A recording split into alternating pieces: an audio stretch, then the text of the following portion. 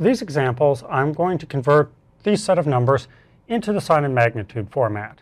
In order to keep these videos reasonably short and readable, I'm going to stick to using 16-bit numbers.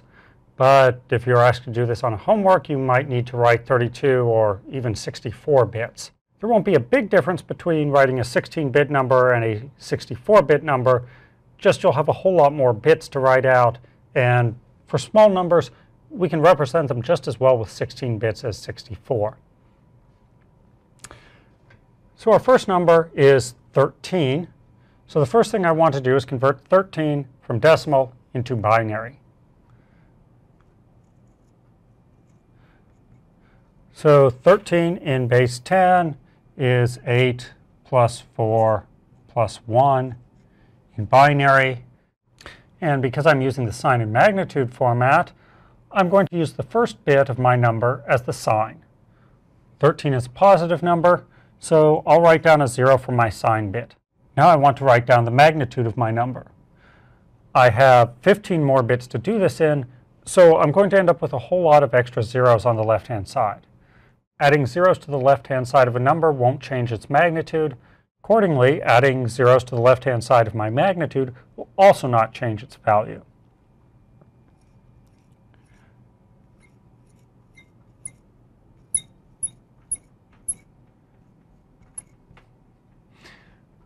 So there is 13 in sign and magnitude format.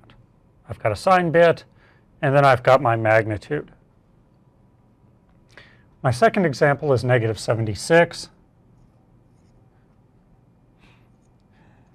And here I'll have a 64, no 32s, no 16s. I'll have an 8, 8 plus 64 will give me 72, plus 4 is 76.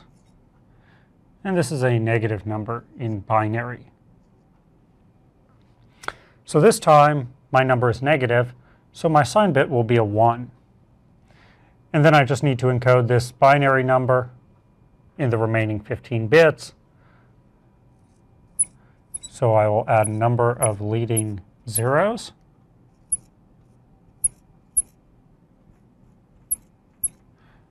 And then the actual magnitude of my number. And that's it. That's negative 76 in sign and magnitude format. Next number is 42. 42 in decimal is 32 plus 8 plus 2, binary. And this is again a positive number, so my sign bit will be a 0. Then I just need my magnitude. So I'll have a number of leading zeros.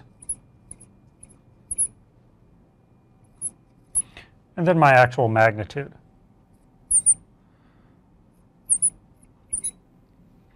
And there's 42 in sign and magnitude.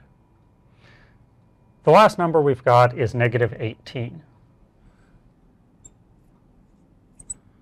Negative 18 in decimal is negative 16 plus negative 2. So again, I have a negative number, so my sign bit is a 1. And then I just need my magnitude. So I start with a number of leading zeros, and then the actual precision of my magnitude.